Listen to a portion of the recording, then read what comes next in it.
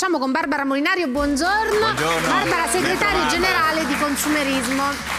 Oggi è la giornata mondiale dell'alimentazione. Noi abbiamo qui un piccolo carrellino, ci sono un po' di cose. E voi- come possiamo, il modo gi- giusto per celebrare questa giornata è parlare di Giacomo Avanzi, no? È Perché di- gli avanzi servono sempre, ma lo Esatto. vogliamo dire. come di parlare non di non sprecare. spreco, sì, esatto. è fondamentale. Se si parla di alimentazione è imprescindibile parlare di non spreco. Purtroppo noi italiani siamo un pochino spreconi, eh, siamo un po' in basso nella classifica eh, europea del- dei paesi che, che sprecano. Esatto, infatti avevo letto dei dati, ora li ritrovo. Noi buttiamo davvero Circa tanto. 35 kg all'anno di cibo. Che è tanto. È tantissimo, cioè a parte una questione economica, Certo. quindi non solo ecologica e anche morale, diciamolo, perché poi esistono persone che la spesa non possono farla, quindi chi può farla deve cercare di non sprecarlo quel cibo e sarebbe opportuno anche per una questione economica non gettare via in pattumiera quello che viene acquistato. Purtroppo il 37% degli italiani dichiara di far scadere eh, i propri alimenti in frigo o in dispensa, di dimenticarli. C'è anche una questione di conservazione perché purtroppo quando andiamo ad acquistare un cibo è già stato trasportato, viene da molto lontano, quindi il famoso chilometro zero. Perché sceglierlo? Perché le, eh, i cibi che arrivano da vicino, i cibi di prossimità, hanno delle ore, dei giorni di vita più bassi e quindi riusciamo a conservarli più tempo in casa. Se noi acquistiamo un cibo che ha già un'aspettativa di vita eh, piccola, è ovvio che scade prima. Certo. Eh, Oggi vogliamo dare qualche suggerimento perché connesso allo spreco naturalmente ci sono delle buone abitudini, delle Sì. good habits che si possono avere e anche cercare di incrementare nella propria vita, nella propria cucina, nella propria dispensa e nel proprio frigorifero. Quindi grazie a te Barbara cercheremo di stilare delle regole utili per tutti quanti. Noi siamo qui per prendere appunti. Da cosa cominciamo? Ovviamente ognuno deve calare queste regole nella propria vita perché se si ha una grande famiglia è bene acquistare le confezioni famiglia, Certo. ma se in famiglia si è in uno, in due, evitare quelle confezioni che poi vengono aperte e restano aperte nella dispensa e non vengono più utilizzate. Quindi acquistare quello che effettivamente serve e per questo una lista della spesa è molto utile. Andare a fare la spesa a stomaco pieno, perché a stomaco vuoto si comprano molte Tutto, più Barbara. Esatto, molte più cose e anche più schi- le famose schifezze. Eh, cercare sempre di acquistare quello che effettivamente si consuma. eh, fare un elenco di cose che verranno consumate in settimana e magari fare anche delle preparazioni preventive che rendono possibile mangiare anche meglio, quindi i famosi minestroni, brodi, sughi, avere sempre qualcosa di pronto co- così quando si arriva a casa eh, non si apre il pacchetto di patatine per esempio Eh, e poi ricominciare a usare gli avanzi. Purtroppo il 50% degli italiani non consuma quello che avanza dalla tavola, quindi lo getta via. E poi la famosa cucina del non spreco.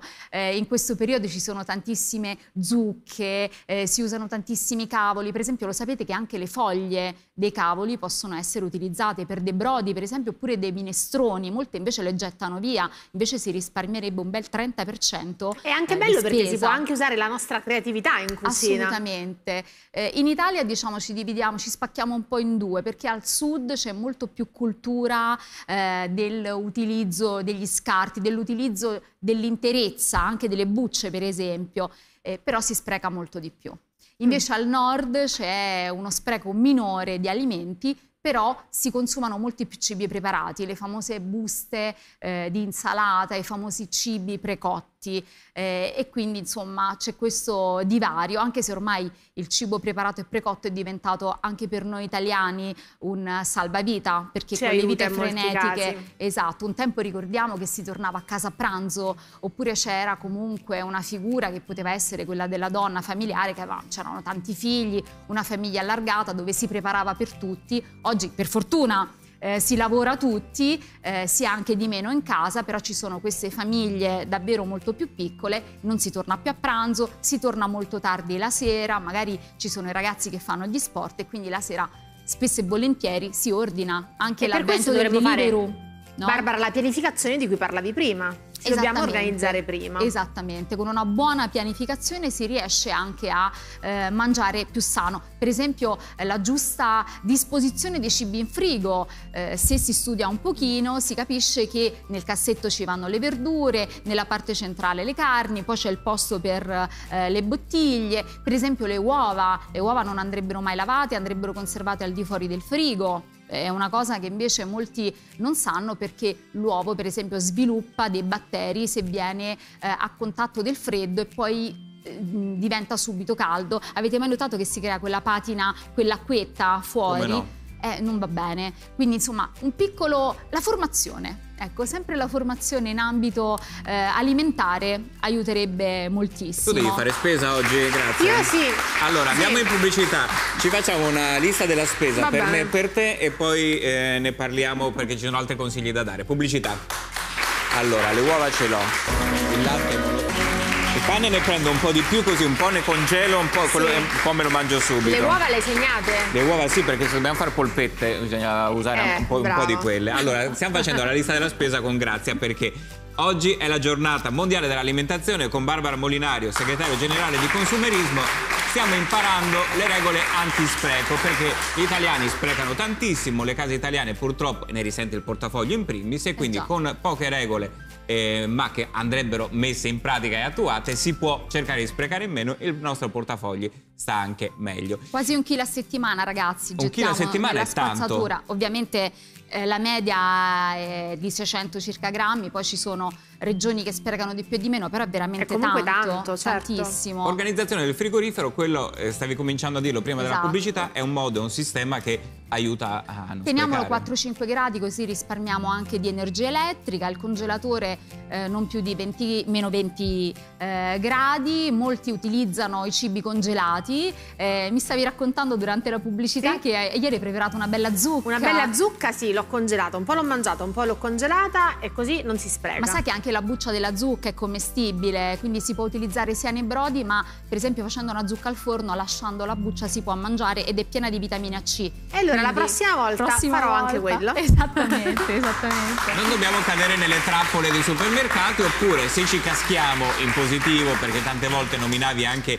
i prodotti che stanno sì. Per scadere e che magari i supermercati vendono a prezzo ridotto, possiamo farci caso, in quel caso naturalmente cucinandole subito. Stiamo attenti quando c'è scritto consumare preferibilmente oppure consumare entro. Se c'è scritto consumare entro spesso lo trovate per i cibi freschi, per esempio la mozzarella, ma anche in quel caso ci dobbiamo affidare ai nostri sensi, quindi l'olfatto, la vista, il gusto, se un cibo ci sembra andato a male non mangiamolo. ma sulla confezione c'è scritto da consumare preferibilmente entro, quel cibo può durare anche un altro anno. Pensiamo alle paste, al riso, ai legumi, ci sono dei cibi che non scadono, il miele, lo zucchero non scade perché non viene attaccato dai batteri, quindi per legge ci deve essere una data di scadenza, però affidiamoci sempre al buon senso.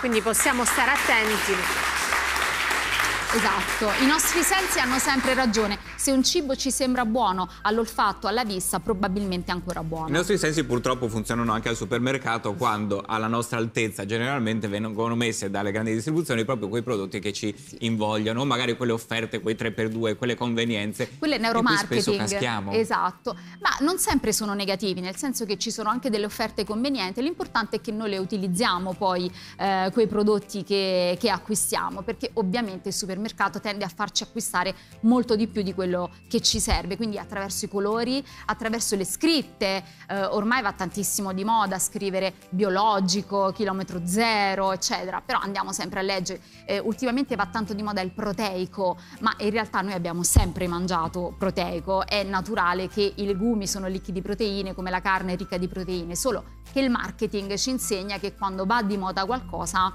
eh, lo dobbiamo rendere, mettere in evidenza, quindi stiamo attenti, leggiamo sempre l'etichetta che è una grande alleata, l'etichetta ci aiuta a capire quali sono i cibi più giusti per noi, le date di scadenza e anche se quel cibo eh, può essere utile alla nostra salute e al nostro stile di vita oppure no. E allora, Barbara, noi ti ringraziamo. Lo ricordiamo, oggi è la giornata mondiale dell'alimentazione e i consigli che ci hai dato per non sprecare sono davvero utilissimi. Vogliamo ricordare anche il sito consumerismo.it. Tu sei segretario generale di Esatto. Consumerismo. Grazie. Grazie, Grazie. Barbara.